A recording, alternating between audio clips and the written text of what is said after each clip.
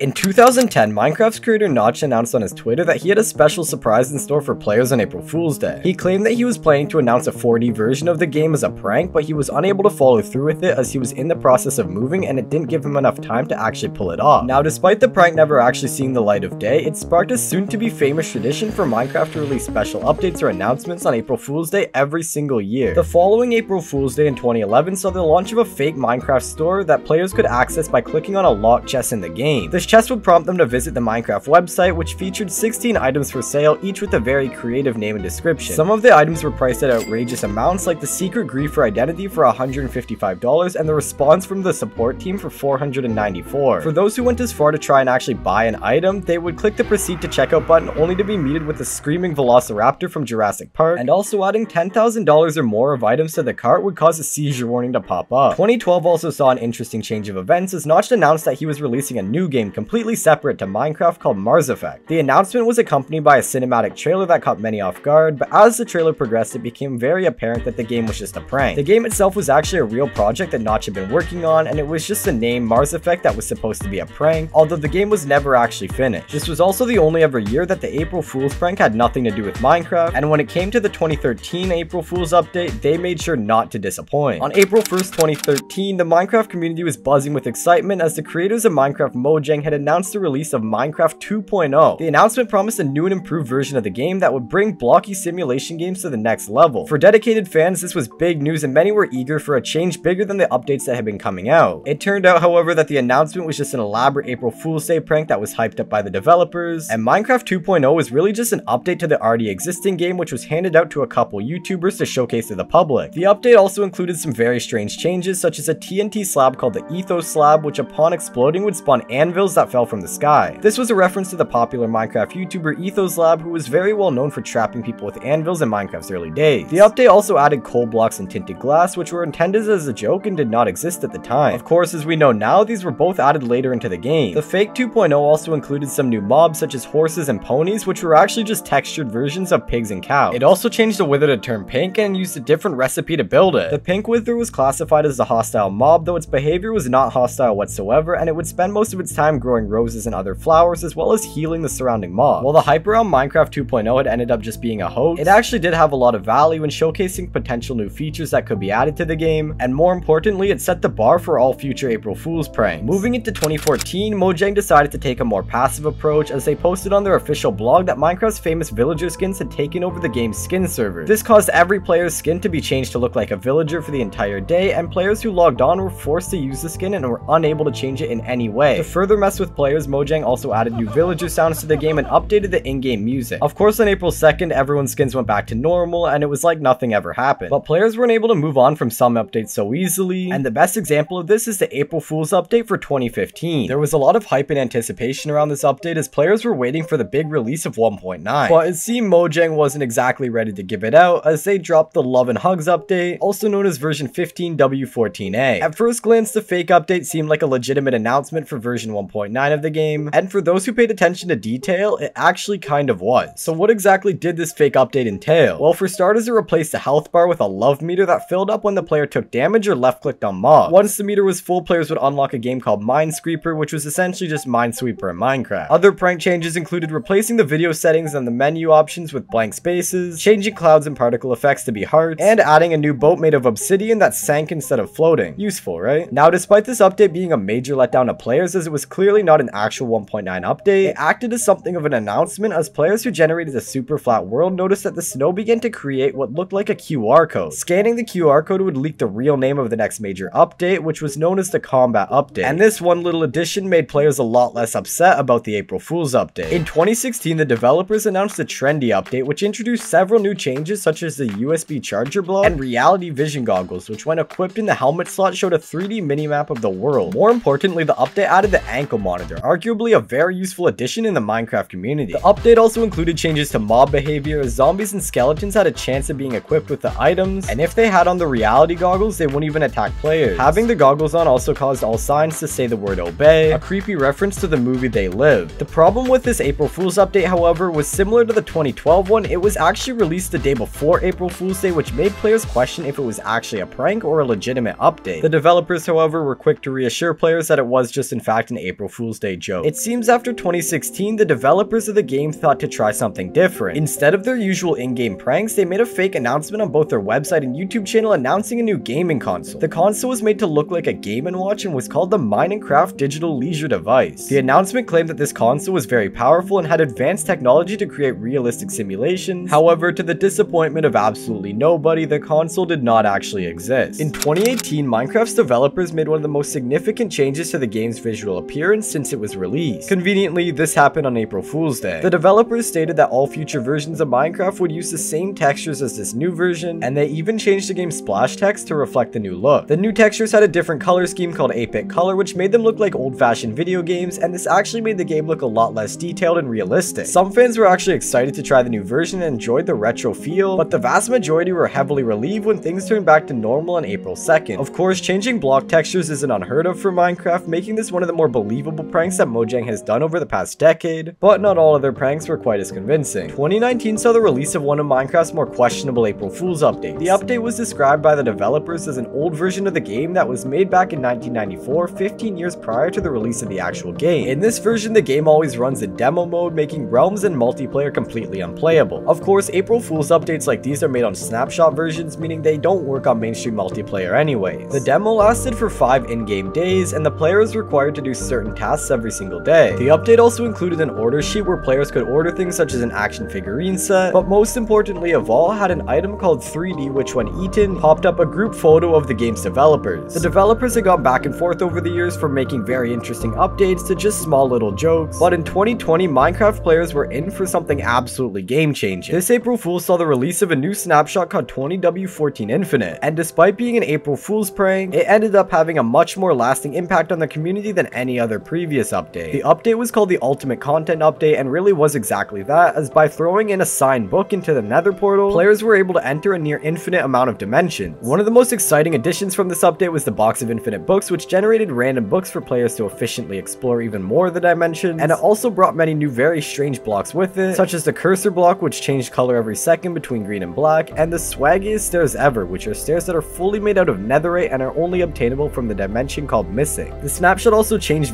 various aspects of gameplay, and despite being an April Fool's joke, some of the features from the snapshot were implemented into later versions of the game. But after working so tirelessly on the 2020 update, it seemed the developers weren't really in the mood for another prank in 2021. Instead, for April Fool's Day, they decided to make their own screensaver app called Minecraft Plus. The app still exists to this day and features various screensavers with different designs and styles that are inspired by old computer screensavers. While not exactly useful or really a prank in any way, the app was still quite fun, and although it left fans disappointed, this disappointment was very soon to vanish as it became extremely apparent in 2022 that Mojang had been working on something much bigger. 2022 saw the release of one of Minecraft's strangest updates ever, one block at a time. In this update, players are faced with an entirely different Minecraft experience where there's not only no inventory, but players can only hold one block at a time, hence the name of the update. Even illegal blocks like end portal frames can be held and tossed around, and the update also affected entities, which for some reason let you pick up any mob and hold it above your head. By the way, holding a chicken makes you fly. Players are also unable to perform simple mechanics in this update, such as swinging the swords, as in order to use them, they must be thrown at the target. The update also removes the player's hotbar, making the gameplay even more challenging. There is one mistake in this update where you can hold a second block in your offhand, but even with this, the game is still a nightmare to play. While beating this version is close to impossible, anyone who manages to even get close and makes it all the way to the stronghold is greeted with a warm welcome from a portal that is just not there. In order to actually beat the game, end portal frames must be found from nether fortress chests and assembled one block at a time. Once in the end, players can fight the dragon all they want, but clicking on the dragon will only make you ride it into the sunset. Finally reaching 2023, Minecraft made their biggest change today. I'm kidding, I literally have no idea. This was recorded in March.